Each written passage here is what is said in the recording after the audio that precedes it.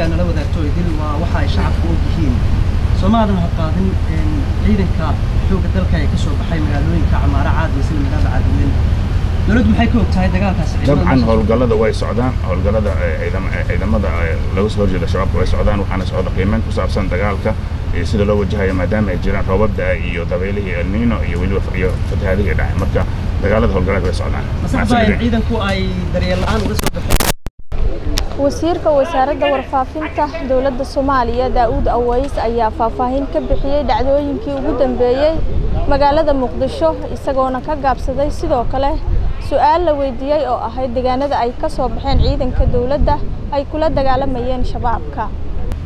Sidaad ogtihiin khawaariijta waxay bishaan barakaysan ramadaan si qaldan ugu tarjuntaan inay tahay wakhti lagu daadiyo dhiigga shacabka aan waxba garabsan. Taas oo ka soo horjeeda diinteenna xaniifka islaamka ciidamada amniga oo dhagartaasi og waxay sannadkii hore u diideen khawaariijta inay helaan fursad ay shacabka ku waxyeeleeyaan waxayna xaqiijiyeen in shacabka ku nool magaalada muqdisho ay bishaan cibaadada ah ay si nabad leh ku soomeen kuna ciideen iyadoo aanay wax faldhagareed ah oo ka dhan ah shacabka magaalada muqdisho aanay dhicin. Sanadkanna ciidamada amniga waxaa ka go'an inay mar kale sugaan amniga magaalada oo ay ka hortagaan dhagaraha kala duwan khawaariijta ay doonayaan inay ku waxyeeleeyaan shacabka soomaaliyeed ee bishaan ramadaan ama cibaadada ku mashquulsan islaha arrimaha amniga innagoo ku guda jirna madaxweynaha jamhuuriyadda federaalk ee soomaaliya mudane xasan sheekh maxamuud waxauu magaalada muqdisho kulan kula yeeshay ciidamo ka tirsan kumandoska danab oo dalka kenya kaga soo qayb galay dhoolatus militari oo caalami ah oo ay ka qayb galeen ilaa iyo saddex iyo labaatan dal.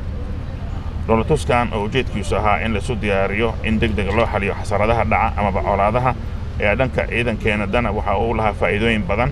maadaama ay ka soo kororsadeen xeeladay u adeegsan karaan dagaalka lagula jiro argagixisada madaxweyne xasan sheekh maxamuud waxauu ciidamadan ku bogaadiyey kartida aqoonta iyo xirfadaha sare ee ay soo bandhigeen iyo sumcadda ay u soo hooyeen qaranka soomaaliya. Isagoo kula dardaarmay inay u dhaqaaqaan waajibka qarannimo ee ka saaran xoreynta dalka iyo dardargelinta howlgallada ciribtirka khawaariijta sidoo kale waxaan shacabka la wadaagaynay toddobaadkan uu ahaa mid lagu xusay guulaha dhanka horumarinta waxbarashada ee dowladda federaalk ee soomaaliya waxaa sidaad la socotaan jaamacadda ummadda soomaaliyeed ka qalinjebiyey arday tiradoodu kor u dhaafayso kun iyo shan boqol. Tallaabadaasoo guul weyn u ah jaamacadda oo dib loo unkay sannadkii labada kun afar iyo tobankii. Maantana shacabka guranayaan midhaha ujeedkii dib loogu yeegleelay jaamacadda. Madaxweynaha munaasabadda qalinjebinta ka qaybgalay ayaa sheegay in haddii la sii wado dadaalada socda gacmaha la isqabsado aynu gaari doono natiijo tan ka sii weyn lagana midho dhalin doono hiigsiga barbaarinta jiilka mustaqbalka isagoo ardayda qalinjebisay kula dardaarmay inay dhexda u xirtaan sidii ay uga shaqayn lahaayeen horumarka dalkooda aqoontoodana ay ugu adeegi lahaayeen shacabkooda. Dhanka kale waxaad la socotaan in baarlamaanka jamhuuriyadda federaalk ee soomaaliya uu weli ku guda jiro ka doodista barnaamijka dib u eegista iyo dhammaystirka dastuurka. Waxaana uu bilaabay ka doodista cutubka afaraad ee dastuurka kumeelgaarka oo ka hadlaya matalaadda shacabka iyo doorashooyinka.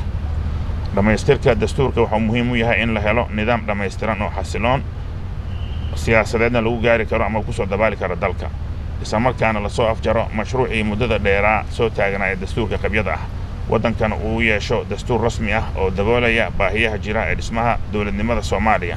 Hadafkuna uu yahay midnimo horumar iyo nabad waarta oo soomaaliya loo horseedo. Haddii aan u guda galno mawduuc kalesan caqabad ku ah caalamka oo dhan oo ah isbeddelka cimilada ra'iisul wasaaraha xukuumadda federaalk ee soomaaliya mudane xamse cabdi barre waxau kulan la qaatay wafdi caalami ah oo ay hogaaminaysay agaasimaha guud ee sanduuqa cimilada cagaaran g c f mafalda duarte. Kulankaas waxaa looga hadlay dhibaatooyinka isbeddelka cimiladu sababeen ee haysta dalkeenna iyo sidii wax looga qaban lahaa taas oo ra'iisul wasaaruhu sheegay in loo baahan yahay ficil iyo taageero wada jir ah oo loogu qaban wax loogu qabanayo isbeddelka cimilada. Dowladda soomaaliya oo arrintaasi muhiimad gaara siinaysa waxay diyaarisay qorshe guud oo istaraatiijiyadeed oo looga hortegayo islamarkaana adkeysi loogu yeelanayo dhibaatooyinka isbeddelka cimilada. Ugu dambayn qodobadaasi aan soo xusnay kuwo kaleba waxaad kaga bogan doontaan qoraalka rasmiga warbixinta toddobaadlaha ah ee dowladda federaalk soomaaliya ayaa dhowaan la daabici doona In parallel, a joint technical assessment by the federal government of Somalia and uh, the African Union in consultation with the UN, European Union and international partners is currently underway to evaluate the phase two drawdown of ATMIS troops in line with the UN Security Council Resolution 2710 of uh, 2023. The lesson identified during this exercise will inform planning for the remaining phases of uh, ATMIS drawdown. ATMIS is fully committed to the transition process, which uh, will culminate uh, in uh, the transfer of full res security responsibilities to the Somali Security Forces (SSF) by 31st December 2024. بشرى علي نذير سي بي اي مقدشو kani waa premier walad lacag ugu dir saaxiibkaaga ugu adeego meel kasta ku bixi biilasha u dir hana lagaaga soo diro meel walba ka maamulo akoonkaaga iyo kaarkaaga premier bank la soo deg maanta oo ku maaree kuna horumari noloshaada dhaqaale premier walad